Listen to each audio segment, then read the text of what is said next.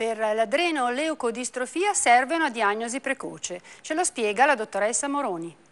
Dottoressa Isabella Moroni, l'adrenoleucodistrofia che cos'è? È una grave malattia metabolica rara eh, dovuta all'alterazione di un gene eh, che causa la eh, distruzione della sostanza bianca, quindi la mielina, che è la guaina che riveste i nervi e che si trova a livello del cervello, eh, del midollo e dei nervi periferici e causa nei bambini una gravissima malattia eh, a esordio nell'età scolare, in genere tra i 3 e i 10 anni, che determina in poco tempo la perdita di funzioni motorie e cognitive. Quindi questi bambini sviluppano dei sintomi che sono eh, il deficit della capacità di camminare, di parlare, di capire, eh, perdono le autonomie nel lavarsi, vestirsi, eh, finiscono allettati in pochi anni in uno stato vegetativo. Quanto è importante fare diagnosi precoce? È estremamente importante ovviamente fare diagnosi precoce perché non esiste un trattamento farmacologico quando i sintomi eh, sono già eh, manifesti e quindi quando la malattia ha già aggredito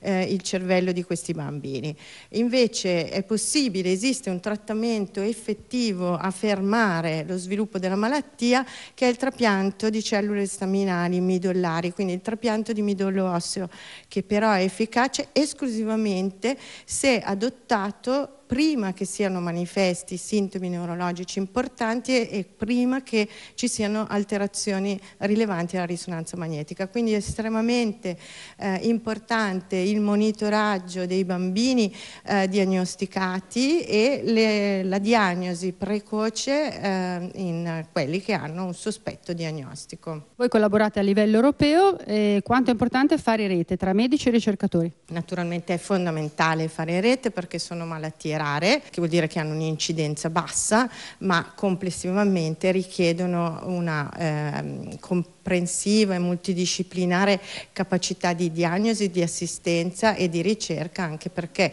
ho detto il trattamento con il trapianto di midollo osseo è disponibile in centri naturalmente specializzati, che sono poi quelli come il nostro Istituto Besta, che fanno diagnosi e che riescono a monitorare e a seguire in maniera corretta i bambini, ma è un trattamento ancora ad elevato rischio di mortalità, di complicanze, estremamente delicato e quindi è necessario che la ricerca prosegua nel eh, cure eh, il più utili e meno pericolose possibili.